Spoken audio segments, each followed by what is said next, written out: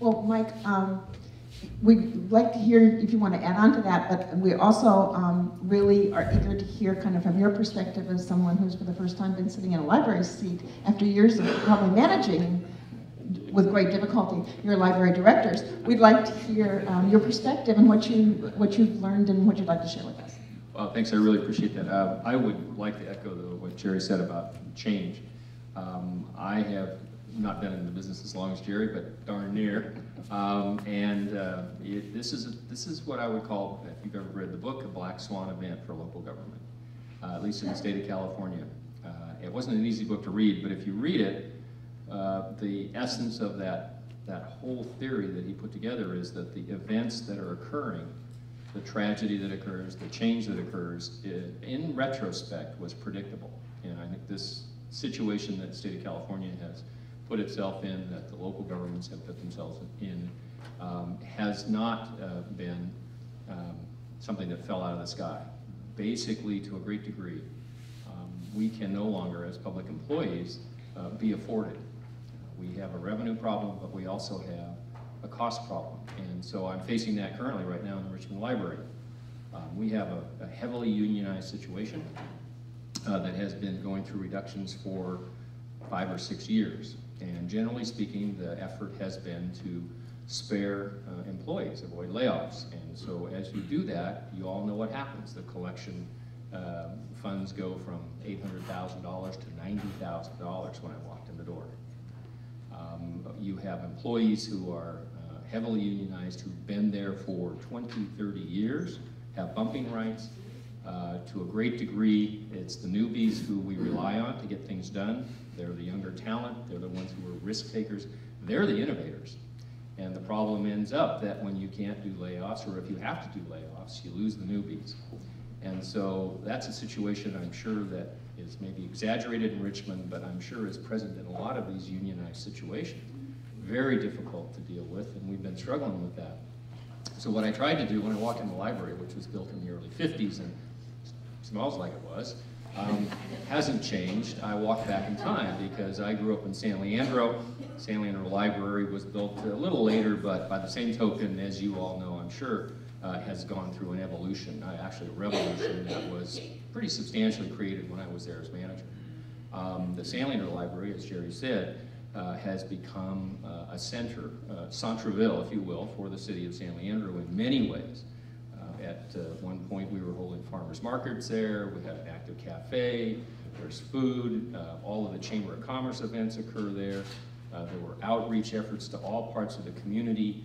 Uh, a lot of funds went into that building, but more importantly, we augmented the collection and sort of provided side money to make sure that the collection kept up. And generally speaking, a foundation was created 20 plus years ago uh, that has substantial resources. And a lot of that was came off the Friends. I mean, quite frankly, well, good investment, but a, a, lot of funding came into that library. So it has a, a, much different status, say, than today in the Richmond Library has. Um, so I think dealing with the Richmond Library situation and the immediacy of the shortfalls, I tried to walk into the library uh, in a number of different um, mindsets. And so what I looked at it as, as an experience, uh, was if I owned it, it was a private sector entity, and how would I try and staff this entity so that it served the community and it provided cost-effective services. And in the Richmond Library, they redid the checkout area for the children's section, which is in a separate room. And every child who checks out a book in the Richmond Library today uses the automated checkout. Flip your card, do your thing, out the door. But you look at our main library and the circulation side has a circulation clerk sitting there. And there's a book, checkout, automated checkout, right next to them, but nobody uses it. So we provide that face-to-face -face service. Dumber clients. I figure if an eight-year-old can do it, every adult can do it too. So just that sort of apparent, transparent sort of, how does this work look, uh, is perhaps something that hasn't occurred in that library before. The second area is reference. We have a couple of branches. We've been making cuts with short librarians. Can you open a branch without a librarian there? How do you provide your resources back to the home ship, you know, and, and the whole thing? Well, we're going to Skype them in. That reference librarian does not have to be present in that branch, in my opinion, to have them Skype in and answer the question. Um, I am a believer in that. So we're looking at the library in those different terms, um, and it's revolutionary. Uh, Part-timers, we have part-timers who, uh, generally speaking, who work less than 25 hours a week don't get benefits. If they work 25 hours a week, they get benefits. They cost 25,000 if they don't have it, and they cost 45,000 if they do. That's one hour a week difference, $20,000. That's, to me, that's, that's huge. That's huge. It's a cost, it's, it's a cost center that is, adds up, because everybody there is working 25, I can't guarantee it, to get the full-time benefits. So those sorts of looks at it, as, at it from a different perspective, um, I'm hoping will help us as a library look at what the transactions cost. We have acquisitions, we have TP, we have $90,000 worth of materials coming through the door here. I, I'm asking, the what does it cost to process that?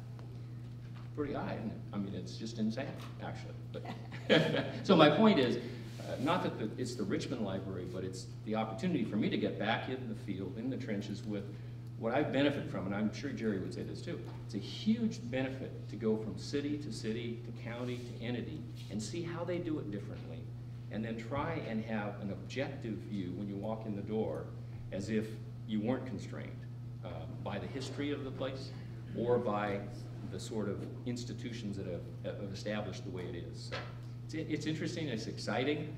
Uh, Richmond is having some more fiscal issues this year, as everybody is. And um, again, they asked us not to lay anybody off, and I was appropriately inappropriate and sent the right recommendation in, so I'll probably get canned and be looking for some more work in a while. But anyway, it's been fun. It has been fun. The staff is wonderful. They've been under siege for years, and trying to motivate them, keep them focused, and still be honest with them It's not an easy thing.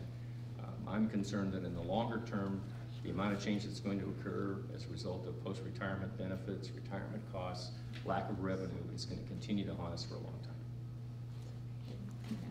Well, uh, that's really interesting. This is a second, another question for both of you.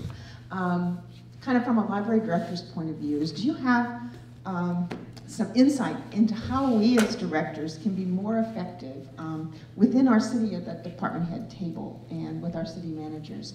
Um, to, I, I think sometimes, well, so, sometimes we have talents that go unrecognized and underutilized. Sometimes we actually act like the outliers ourselves and don't step up and participate. So that's my um, kind of perspective from many years of being in both two different cities.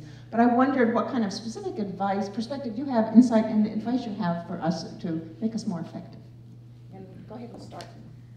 Uh, Okay, um, well, I, you know, I, effectiveness is, is almost an individual thing. It's like, Yeah. it depends on your skill sets and what you're comfortable with and what you, what you've been taught, um, and what your opportunities are.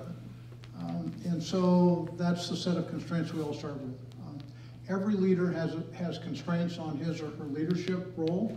Um, The most, if you think about a, a department head in a city or a county, it's different if you're in a, a special district, and you've got a board to worry about, and you're not a part of a, a larger enterprise, although you obviously have relationships and so on that are important, but if you're part of a general purpose local government, city or county, um, you are a leader among leaders. Every department head leads, it leads an institution.